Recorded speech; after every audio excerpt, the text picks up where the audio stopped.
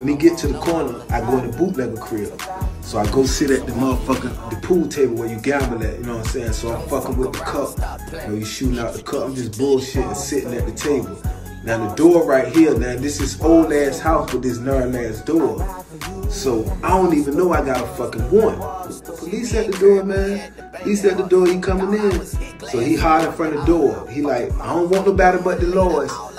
If, if, if, the Lord saying they here, y'all can continue on what y'all doing. Y'all good. I don't want nobody but the Lord. Now he know it's nowhere I could have went but in the house that quick because he circled the block. He ain't looking for the Lords. When he rolled past and seen me, he typing my name and. I got a warrant.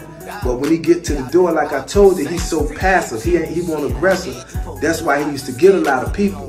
So when he get to the door, he like, oh, I don't want nobody but the Lords. So I'm sitting at the table, right?